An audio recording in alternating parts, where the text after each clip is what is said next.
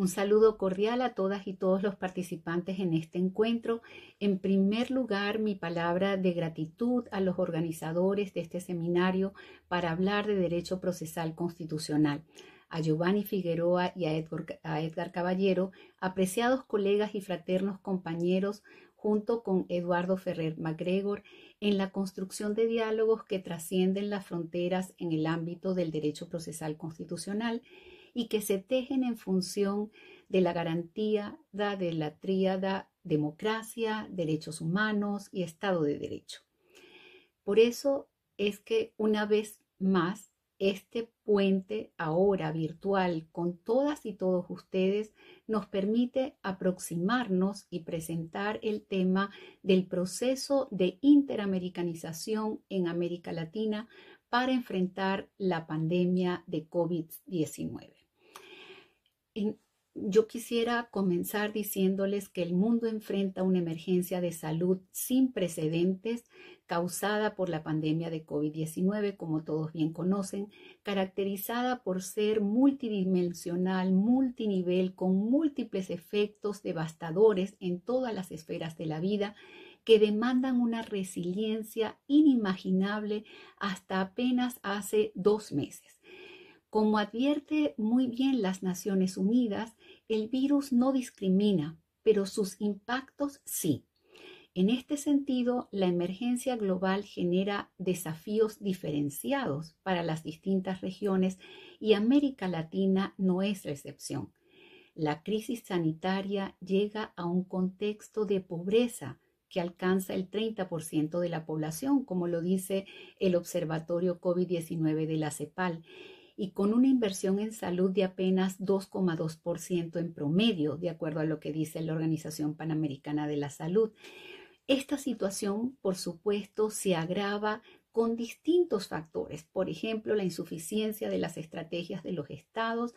que, eh, como lo, lo, refleja el Banco Mundial, una repercusión en las pérdidas en el PIB en China, en Estados Unidos, en Europa, la reducción de las remesas provenientes de los migrantes sin trabajo, de acuerdo a los informes de la OIT, esto entre tantos otros factores. En el campo político se advierte no una respuesta de los gobiernos en razón de ideologías, sino entre populistas y pragmático-tecnócratas, como lo dicen los informes de la ciencia política, donde los militares están teniendo un rol que era inimaginable. Y en los estados latinoamericanos se debe atender paralelamente entonces las crisis, la epidemiológica, la socioeconómica, la político-jurídico. ¿Y qué expectativas se tienen entonces frente al derecho? Puede hablarse entonces de un use común en los derechos humanos para poder enfrentar con el lenguaje de los derechos humanos una respuesta a, esta crisis que estamos o a estas crisis en estos tiempos difíciles. Por eso el desafío en el ámbito jurídico es resistir la pandemia llevando a cabo el proceso de interamericanización. Mi exposición la voy a estructurar entonces en tres puntos. En primer lugar, hablaremos de el contexto, en segundo lugar del texto y del no pretexto. En el contexto voy a referirme a cómo, sin excepción, la interamericanización es necesaria para enfrentar el estado regional de excepción que tenemos en la actualidad en América Latina. Respecto al texto, voy a entender por interamericanización y el test democrático cuál es su alcance, qué nos dicen las normas. Y en tercer lugar, el no pretexto es no usar la COVID, no usar la pandemia para violar derechos, sino por el contrario, justamente como la gran oportunidad para desarrollar una interamericanización de doble vida.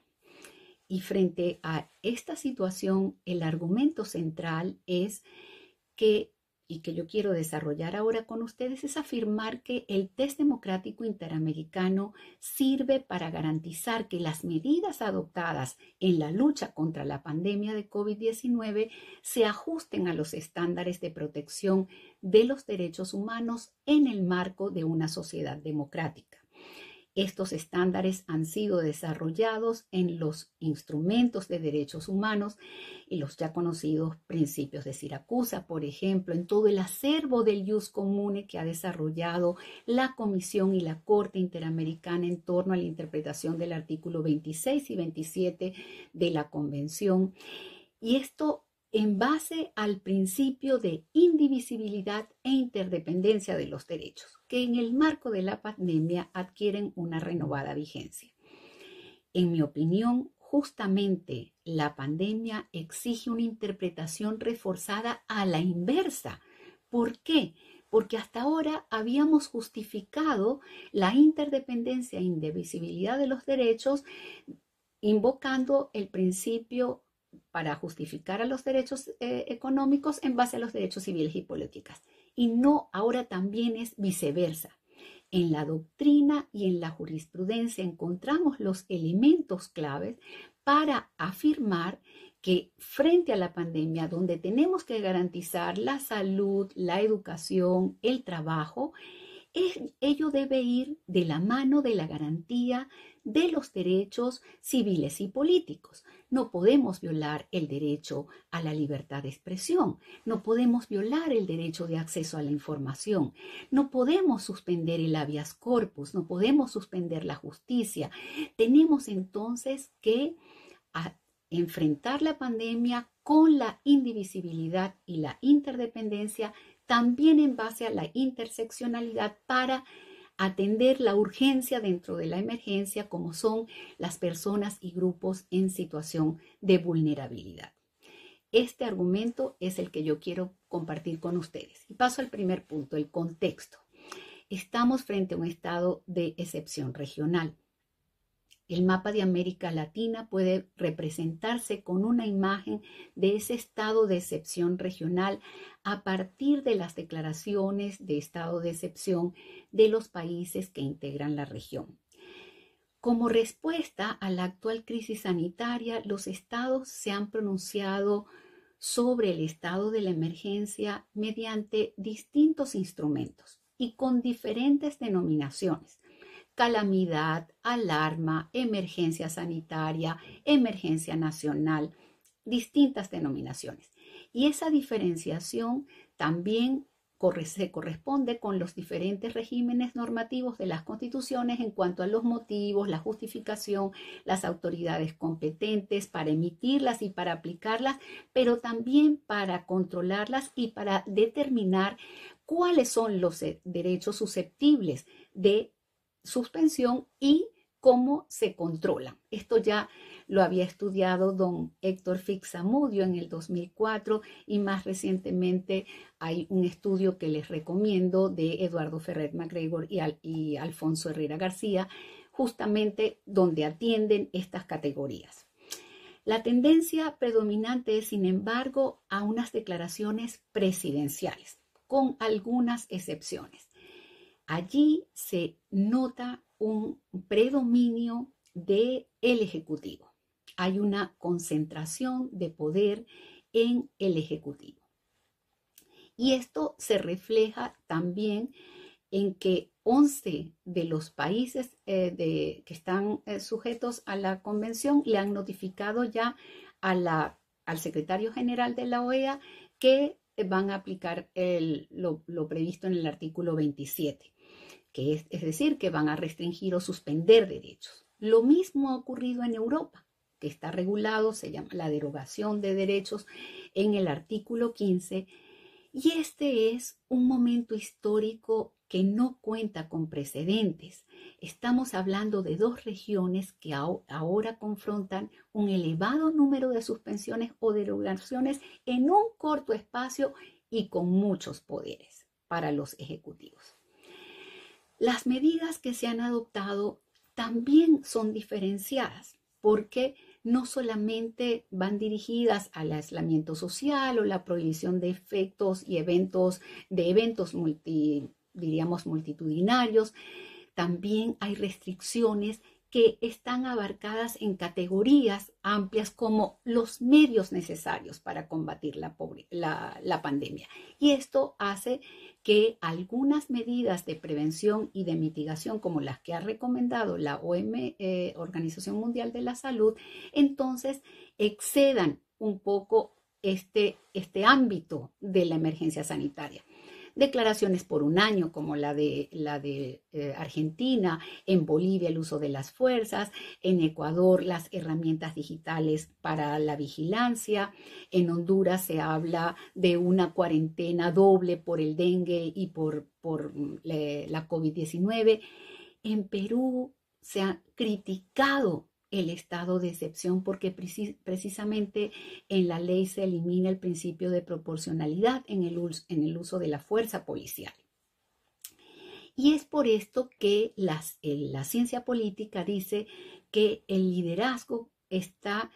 en, muy cuestionado por el, este uso abusivo de los poderes extraordinarios, por una parte, pero por la otra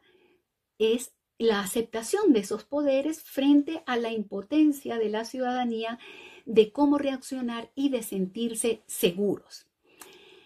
Adicionalmente, en, América Latina es muy grave la falta de transparencia y que algunos líderes políticos han subestimado el valor de la ciencia bueno, eh, y con ello ignorando los desarrollos que hay en esta materia, por ejemplo, en el Comité eh, DESC de Naciones Unidas.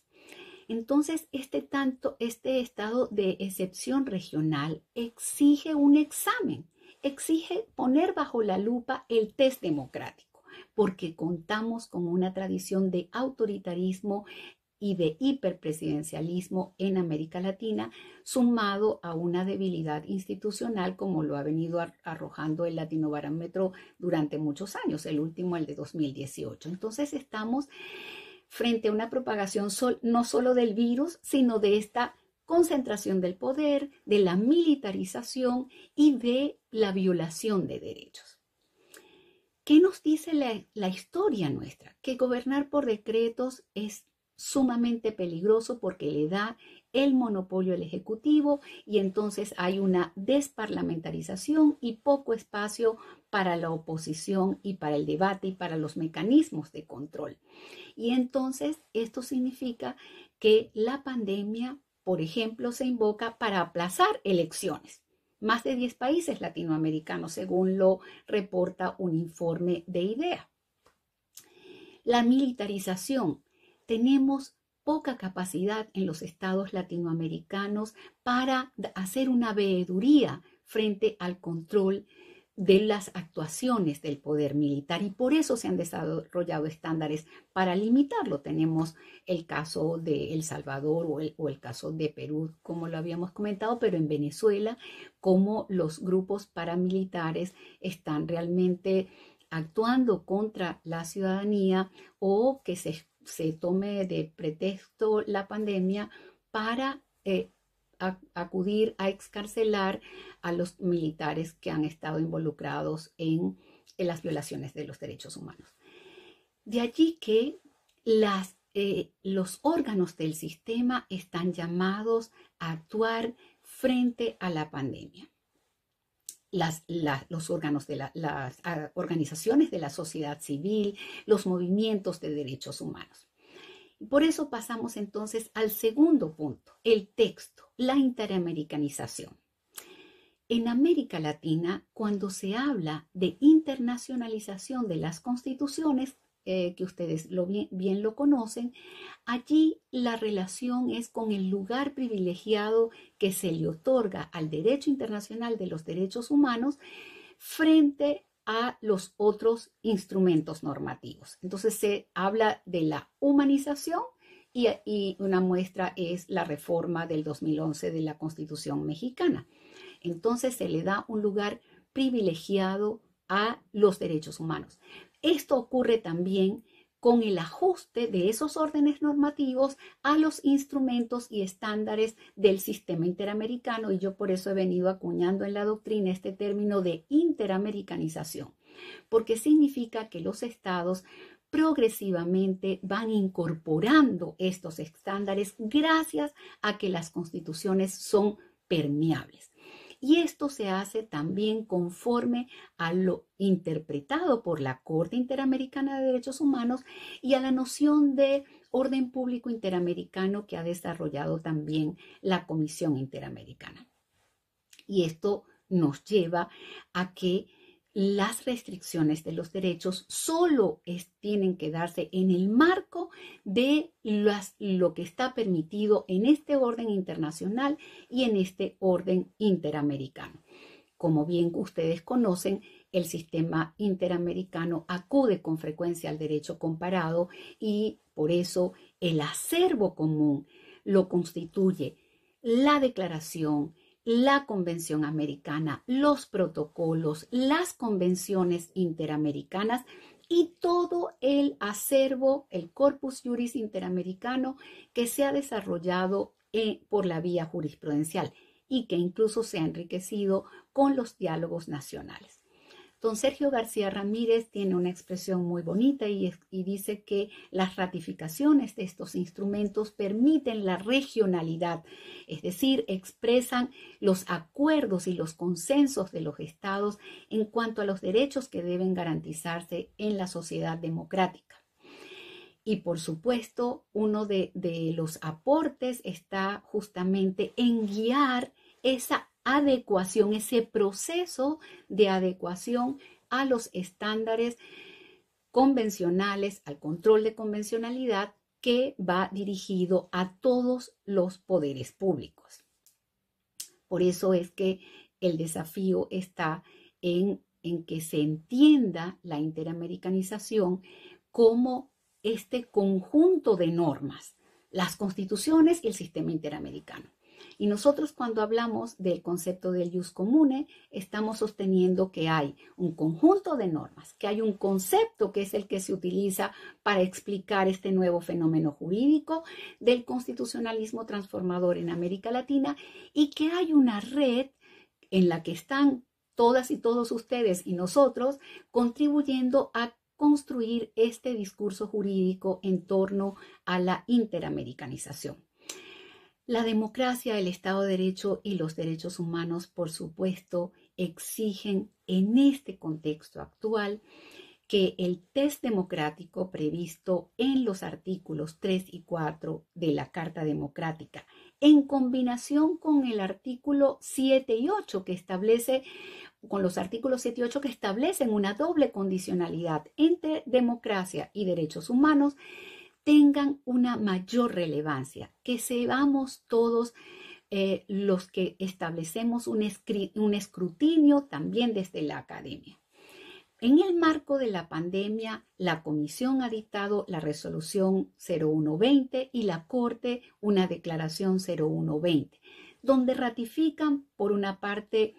el, el, acervo en materia del derecho a la salud y que debe garantizarse y que también debe garantizarse sin discriminación alguna a todas las personas sometidas a la jurisdicción de los estados, que los DESCAS deben ser garantizados sin discriminación, también prestando una gran atención a los grupos más desfavorecidos, a los grupos vulnerables que necesitan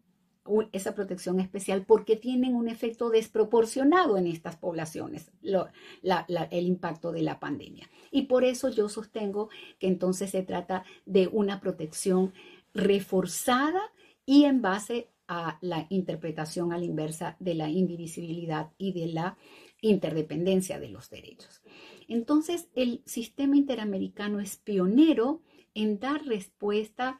a la a la pandemia con un enfoque de derechos humanos. Pero también advierten los órganos del sistema interamericano que cualquier restricción en el goce o ejercicio de los derechos deben cumplir los principios de temporalidad, legalidad, razonabilidad, necesariedad, proporcionalidad, al igual que los tiene que cumplir con los objetivos científicos que están definidos. Entonces, estos son los requisitos del orden público interamericano. Podemos decir que ahora más que nunca, ¿para qué nunca más ocurra, y se acuerdan que ese es el motivo que convoca a muchas movilizaciones en favor de los derechos, que ese nunca más se, efectivamente no se produzca y se haga realidad en la reacción de los estados frente a la pandemia. No podemos, repito, por ejemplo, garantizar el derecho a la salud sin garantizar que los defensores y las defensoras de derechos humanos tengan la garantía de poder cumplir esta tarea. Y paso al último punto, el contexto mm, no puede ser el pretexto, es decir, enfrentar a la COVID nos lleva a la interamericanización de doble vía. Y allí tendríamos que decir que más de 20 comunicados de prensa la comisión ha emitido para significar cómo tienen que promoverse el, este enfoque, este mandato transformador por la vía de los derechos humanos en tiempos del coronavirus para ofrecer una sistematización de eh, las respuestas que son necesarias. Ha creado una sala de coordinación, se llama la SACROI COVID-19. Ha emitido más de 18 boletines para monitorear las eh, acciones de los estados, los estándares. Ha creado un centro multimedia online con el objeto de precisamente mostrar estos e, estándares y recomendaciones del sistema eh, eh, interamericano y las informaciones relevantes de las propias medidas de los estados. Pero hay que destacar también la labor que ha realizado la comisión con sus relatorías, con la relatoría de ESCA y con la relatoría especial para eh, la libertad de expresión. Porque a través de estas dos relatorías, la comisión ha actuado reforzando contextos específicos, como una, una verdadera alerta temprana que facilita la identificación de las líneas rojas, como lo llaman en la doctrina, así lo ha escrito el, profesor Armin von Bogdandi respecto a Europa, esas líneas rojas que no se pueden pasar. Entonces, por ejemplo, la, la CIDH con la relatoría DESCA ha ha mostrado el impacto de la pandemia en cuanto al derecho a la salud y en cuanto a los grupos en situación de vulnerabilidad. En estas manifestaciones, declaraciones, hay una profunda preocupación por los efectos en Venezuela y llamaron a, a, que se garanticen en todos los países donde están personas venezolanas en la región pero también pusieron de relieve la situación de los derechos humanos en el caso de Nicaragua. Y esto es muy importante porque la Comisión en tiempo real siempre ha dado cuenta de los países que no están cumpliendo con los estándares interamericanos en materia de protección de la democracia o que se están violando los derechos o que transgreden estas líneas rojas y son eh, diríamos, regímenes autoritarios. Pero la CIDH también con la Relatoría para la Libertad de Expresión se ha expresado con otros órganos, los de la ONU o, la OSCD, que están pronunciándose los posibles efectos que tiene la, la, la pandemia frente al derecho a el acceso a Internet, a la protección del trabajo de los periodistas, a las restricciones que se pueden imponer, pero que no deben vulnerar, por supuesto, eh, los derechos, todos estos mecanismos de tecnología para rastrear la propagación del coronavirus. Todas estas herramientas son esenciales para darle visibilidad a la problemática para alertar de lo que ha construido la humanidad y en particular la, región latinoamericana, para dar una respuesta conforme a estos estándares y no violando los estándares. Y allí también hay que estar eh, muy conscientes que la respuesta ha estado orientada a enfatizar la situación de las personas privadas de libertad, de los migrantes, de las personas mayores, de las personas LGTBI, es decir, de todas las personas y grupos en situación de vulnerabilidad. Me, parece importante mencionarles que también la OEA ha dictado un pronunciamiento y hace un llamado a los estados a la solidaridad y a cumplir sus obligaciones internacionales en compatibilidad con los estándares que han desarrollado la Comisión y la Corte. La Corte es un tribunal, pero ha dictado igualmente una declaración en el contexto actual de la pandemia y ha divulgado nuevamente sus cuadernillos de jurisprudencia. ¿Cómo habla un tribunal con sus decisiones? Entonces, ha vuelto a publicar el cuadernillo sobre restricción y suspensión de derechos, pero también actualizó otros cuadernillos importantes como las personas en situación de migración o refugio y ello para insistir en la importancia y relevancia de cumplir los estándares. Yo les invito, publicamos varios libros sobre la justiciabilidad de los DESCA y uno es sobre el caso Poblete versus Chile y el otro el caso Cuscul versus Guatemala, donde justamente se logra la justiciabilidad directa del artículo 26 de la Convención Americana. En un caso mucho más reciente de este año 2020, de las comunidades indígenas La Cajona versus Argentina, se reiteran estándares para las comunidades indígenas y los pueblos indígenas, pero también hay un avance muy novedoso en materia del derecho al agua y justamente los eh, integrantes de, los expertos de Naciones Unidas y, de los distintos relatores hacen hincapié, sin el agua no podemos garantizar el combate al, al coronavirus. Entonces, las dimensiones positivas y negativas para garantizar el derecho a la vida. La dimensión de eh, las obligaciones de los estados, las inmediatas, también las de desarrollo progresivo y también la no regresividad y que cualquier materia eh, o cualquier resolución restrictiva tiene que cumplir los estándares de la, eh, que han establecido el sistema interamericano. Con esto yo quiero significarles y ponerles de relieve el alcance de, las lecciones que nos deja el pasado autoritario, la vulneración de derechos de nuestros grupos vulnerables, lo que se ha construido para consolidar la democracia por la vía de la garantía de la independencia del Poder Judicial, de destacar el papel de los movimientos sociales, de poner en el centro a las víctimas. Todos estos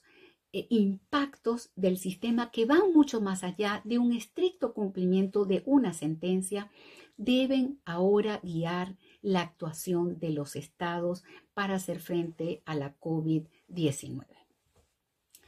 Cuando hablamos entonces de interamericanización, no es solo un fenómeno unidireccional, es de doble vía. Los estados, es cierto que hay un gran peligro y como yo se los he mencionado, hay un estado de excepción regional, pero el enfoque de derechos humanos también encuentra buenas prácticas y ejemplos paradigmáticos ahora en, la región latinoamericana. Por ejemplo, el, 20 de, en una resolución del 16 de abril de este año, la Corte Constitucional Ecuatoriana implementó una etapa de, supervisión para monitorear el impacto de sus decisiones sobre la constitucionalidad de los poderes de emergencia otorgados al presidente en la lucha contra COVID-19. Y allí hace este eh, levantamiento en base a cinco eh, categorías de derechos, el acceso a alimentos y medicamentos, la protección de las personas vulnerables, la entrada al país de nacionales o residentes que, que permanecen fuera del Ecuador, en el caso, porque es la Corte Constitucional de Ecuador, la protección de los servidores públicos de la llamada primera línea, no solamente el personal médico, sino de seguridad, el acceso a la justicia y los recursos constitucionales con los que cuenta la población. También hay reacción de la Corte Constitucional de Colombia, que asumió con el 20 de abril de, este año el control automático de los últimos 26 decretos leyes que se habían expedido, y esto cambia de un día para otro, frente a la emergencia económica, social y ambiental derivada de la COVID, y entonces se sumaba a, un total de 72 decretos leyes que están sometidos bajo el control de constitucionalidad. En El Salvador, la Sala de lo Constitucional de la Corte Suprema de Justicia ordenó al presidente que elabore un plan urgente para repatriar a los 4.500 salvadoreños que estaban fuera. El Supremo Tribunal Federal de Brasil, con ponencia del ministro Barroso, otorgó medida cautelar para impedir una campaña publicitaria contra el distanciamiento social, es decir, que se negaba el valor científico. En el ámbito de las políticas públicas y del poder legislativo, también en base al monitoreo que ha hecho la comisión, que es el único, diríamos, inventario que he estudiado hasta este momento,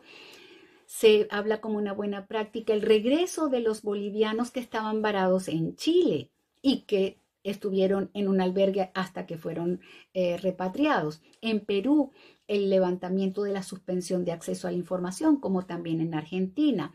El, en Guatemala, cuando eh, se hace un llamado a mantener eh, una comunicación gubernamental abierta, directa y continua con la prensa para poder informar a la población sobre la emergencia sanitaria. Y todo ello, eh, por supuesto, son indicadores positivos para el acceso a la información. En México, el Consejo Nacional de Ciencia y Tecnología, CONACYT, y la Dirección General de Epidemiología de la Secretaría de Salud también decidieron liberar una base de datos en formato abierto sobre las cuestiones vinculadas a la COVID-19. No podemos negar que hay una situación de grave peligro. Estamos, hay ya muchos estudios. Eh, de hecho, eh, Diego Valadez acaba de coordinar eh, con el Instituto de Investigaciones Jurídicas y el Instituto Iberoamericano de Derecho Constitucional una publicación que está accesible en Internet y que ustedes pueden consultar sobre los decretos de estado de excepción. Lo importante es que hay que reaccionar con una, una veeduría y desde la academia tenemos que ser muy críticos y reconocer, estamos en una situación grave, pero tenemos herramientas para enfrentarla con la tríada democracia, Estado de Derecho y derechos humanos. Todas y todos ustedes, quienes me están escuchando, también tienen esta responsabilidad, esta actitud crítica. Por eso mi reflexión final va destinada a resaltar las palabras de la filósofa alemana Svenja eh, que dice que en este momento hay que cambiar patrones. Y le hicieron una entrevista preguntándole que cuál era la relación entre la crisis climática y la COVID-19 y sus diferencias. Y ella, Flassbüller, esposó la relevancia de las crisis y dijo, en el contexto actual se solicita la solidaridad de las generaciones jóvenes frente a las, personas mayores porque son las más vulnerables frente al coronavirus. Y ese peligro está inminente, cerca mientras que el cambio climático, los jóvenes ya venían reclamando a las generaciones mayores solidaridad con la mirada puesta en una catástrofe que a veces no se siente tan cercana o tan perceptible. Y dice, sin acudir a un optimismo ingenuo, si el mundo quiere, puede. E, esta pandemia de la COVID-19 nos ha puesto de manifiesto que tenemos que activar todas las alarmas y que tenemos que trabajar con buenas prácticas para llevar a cabo la interamericanización en una doble vía. Es una tarea que debemos asumir sin pausa. La difusión en toda la región de los estándares eh, interamericanos están anclados en el sistema universal, en el derecho comparado y en estas clases también, por ejemplo, del derecho procesal constitucional para que no se propague solo el virus, sino también las tendencias populistas y las amenazas a la sociedad democrática, tenemos que reaccionar. Y yo quiero concluir con las mismas palabras que el profesor Armin von Bogdani, director del Instituto Max Planck de Derecho Público Comparado y Derecho eh, Internacional Público, al referirse al ICAL el pasado 24 de abril en una conferencia con el Centro de Estudios Constitucionales de la Suprema Corte de Justicia de la Nación de México y dijo, los derechos humanos dan el lenguaje para articular los ejes centrales para enfrentar la pandemia. Muchas gracias a todas y todos. Mi enorme gratitud a Giovanni y a Edgar por hacerme parte de este extraordinario intercambio académico y les invito a que en sus respectivas regiones y en, el tema que trabajen